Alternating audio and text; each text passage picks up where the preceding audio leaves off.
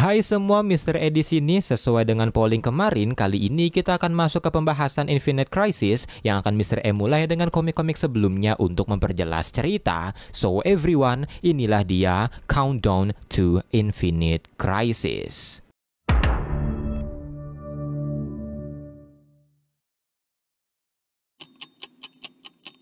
20 menit yang lalu, sebuah tangan terlihat keluar dari ventilasi udara dan Blue Beetle Ted Kord mulai keluar dari sana. Dia berusaha menyusup masuk ke dalam sebuah ruangan dan setelah berhasil, Ted Kord bergegas ke sebuah monitor besar di tengah ruangan, mengakses komputernya dan setelah menyala, Ted Kord seketika terkejut sekaligus kebingungan ketika melihat lambang dari para superhero berada di sana. Dia pun mengklik logo dari Batman dan seketika terkejut karena yang keluar adalah informasi informasi lengkap soal Batman, termasuk identitas aslinya yang membuat Ted Kord dengan panik menghubungi Oracle.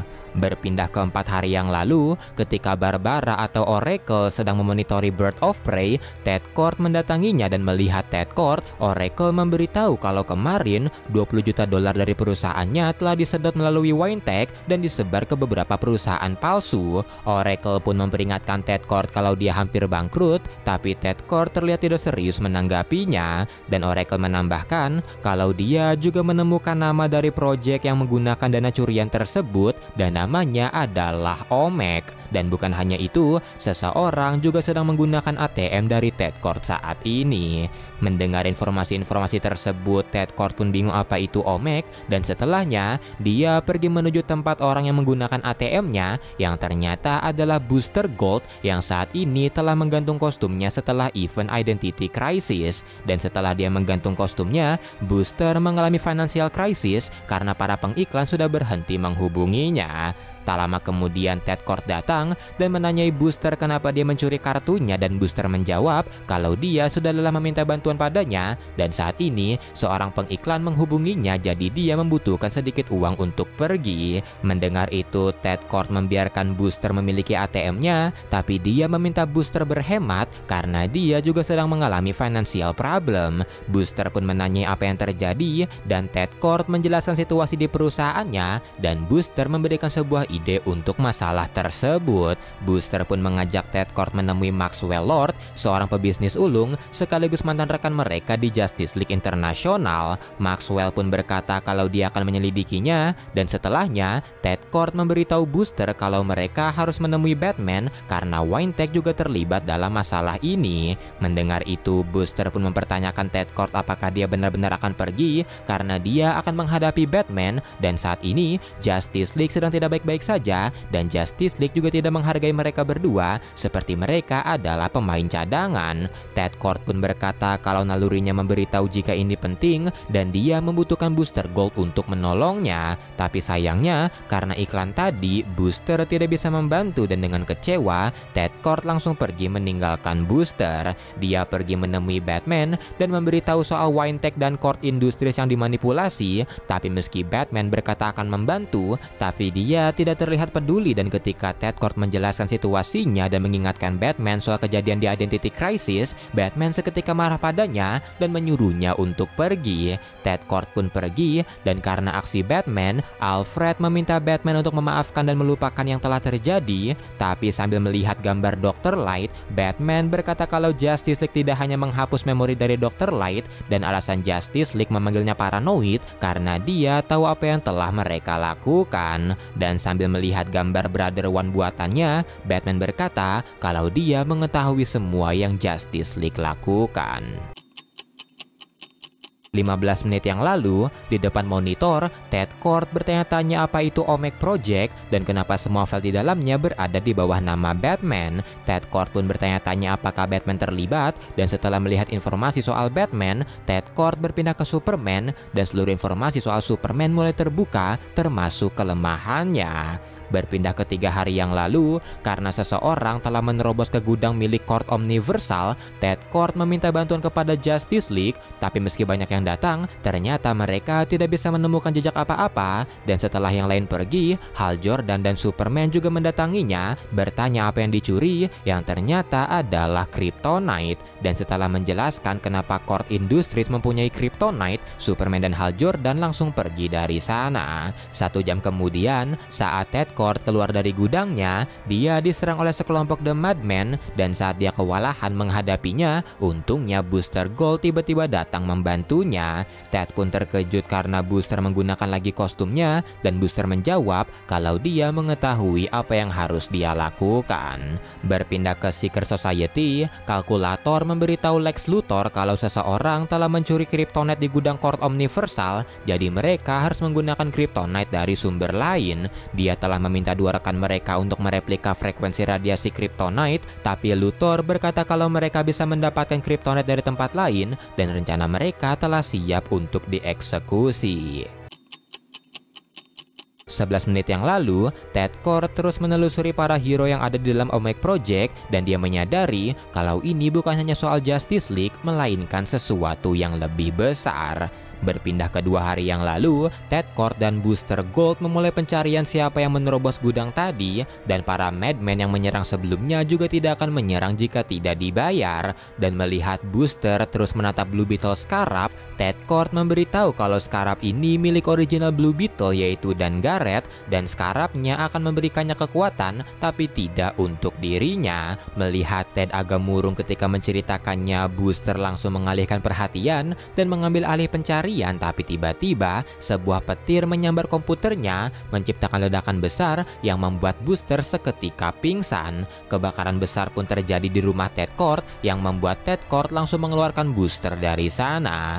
Booster pun dilarikan ke rumah sakit dan setelah kebakaran di rumahnya berhasil dipadamkan, dia melihat sebuah cahaya di dalamnya yang saat didatangi ternyata cahayanya berasal dari Scarab. Melihat itu, Ted Kord mulai menyusun petunjuk di mana Scarab yang relik sihir tiba-tiba menyala, petir menyambar rumahnya, dan dua petunjuk itu menuntun Ted Kord menuju Shazam. Ted Kord pun pergi menuju Fawcett City, dan sekarapnya mulai menuntun Ted Kord menuju suatu tempat, menuju sebuah pintu yang saat dibuka ternyata pintu tersebut membawanya menuju Rock of Eternity. Wizard Shazam pun menyambut kedatangan Ted Kord, dan Ted memberitahu kalau sebuah petir menyambar rumahnya dan sekarapnya tiba-tiba menyala. Tapi jawaban sang wizard membuat Ted Kord bingung karena sang wizard meminta maaf kepadanya karena dia harus terlibat dalam situasi ini karena saat ini kekuatan besar sedang berkecamuk sedangkan Ted Kord hanyalah manusia biasa dan ini bukanlah tempat untuk manusia biasa. Ted Kord yang kebingungan pun menanyai sang wizard di mana Shazam dan sambil mengeluarkan sihirnya, sang wizard berkata kalau Shazam sedang dibutuhkan di tempat lain.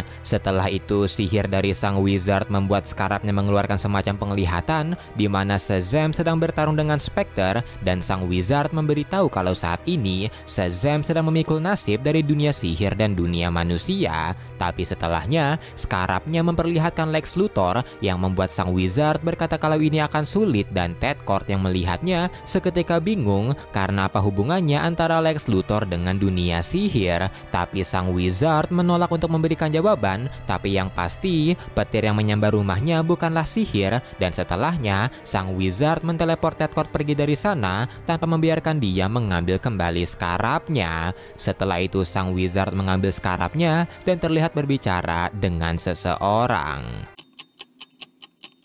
6 menit yang lalu, Ted Core terus menggali file-file yang ada di dalam Omega Project di mana dia menemukan file dari Wonder Woman, wanita terkuat di dunia. Berpindah ke 8 jam yang lalu, setelah dia diteleport pergi oleh Wizard Shazam, Ted Core pun langsung memanggil pesawatnya yaitu The Bug, tapi saat pintu dari The Bug dibuka, pesawatnya tiba-tiba meledak. Setelah itu, Ted Core dirawat di Justice League Watchtower dan Wonder Woman yang tahu soal investigasi Ted Core memintanya untuk menginfokan semua penemuannya padanya. Setelah itu Ted pergi menemui Martian Manhunter, tapi Martian nampaknya tidak begitu peduli dengan insiden yang terjadi kepada Ted Kord karena menurutnya para penjahat selalu berusaha membunuh superhero. Tak lama kemudian Watchtower mendapatkan transmisi dari Adam Strange yang meminta bantuan kepada Justice League karena planet Rania sedang diinvasi oleh pasukan Tanagarian. Melihat itu, Martian langsung menghubungi Justice League dengan telepatiknya, tapi melihat kalau dia tidak dihubungi, Ted yang merasa kalau ucapan booster benar langsung pergi dari sana. Dia menteleportkan diri ke rumahnya, merenung di sana, dan saat dia tidak sengaja merusak kacamatanya, dia menemukan sesuatu di sana. Ted Kord pun bergegas pergi, menemui booster Gold di rumah sakit, dan memperlihatkan temuannya yaitu sebuah pelacak yang ditempatkan di kacamatanya. Ted Kord pun menanyai booster soal teman robotnya yaitu Skids, dan booster menjawab kalau Skids mungkin telah kembali ke masa depan dari setahun yang lalu, tapi Ted Kord berkata kalau mungkin Skids tidak kembali ke masa depan karena Skids adalah robot penjaga dan untuk melacak seseorang tidak ada teknologi paling canggih dibandingkan milik Skids. Mendengar itu, Booster pun bertanya pada Ted apakah menurutnya Skids telah diculik dan dihancurkan untuk diambil part-partnya. Ted pun mengiyakannya dan mendengar itu, Booster berniat ikut bersama Ted melacak orang yang menggunakan teknologi milik Skids, tapi Booster yang terluka parah akhirnya pingsan saat mencoba berdiri. Perawat pun langsung datang dan sebelum pergi meninggalkan Booster, Ted Kord berpesan kepada perawatnya untuk memberitahu Booster kalau ini bukanlah salahnya. 32 menit yang lalu, Ted Kord dengan debaknya mulai melacak transmisi dari pelacak milik Skids dan sebelum pergi, dia juga telah menghubungi Oracle yang tidak menjawab dan ketika dia menghubungi Batman, Batman berusaha menahannya tapi dia memutuskan untuk menutup teleponnya dan pergi sendirian. Dia melacak sinyal Skids yang menuntunnya menuju pegunungan Alpen di Swiss. Dia melihat sebuah kastil di sana dan karena tidak ingin ketahuan, Ted Kord memutuskan untuk menyusup tanpa menghajar satupun penjaga dan berpindah ke saat ini setelah melihat file milik booster Gold di Project Omek, Ted Kord melihat file miliknya sendiri dan dia pun seketika terkejut karena di filenya penyusupan dia saat ini ternyata telah diketahui dan di file itu statusnya adalah tewas. Tak lama kemudian terdengar sebuah suara tepuk tangan dan sambutan dan Ted mengetahui siapa itu dan saat dia berbalik perkiraannya benar yaitu Maxwell Lord. Setelah itu Maxwell meminta para bawahannya untuk keluar dan setelahnya menggunakan telepatiknya untuk memaksa Ted menjatuhkan BB gun. Setelah itu Ted menanyai Maxwell apa ini dan apa yang dia lakukan dan Maxwell menjawab kalau ini adalah checkmate dan dirinya adalah rajanya.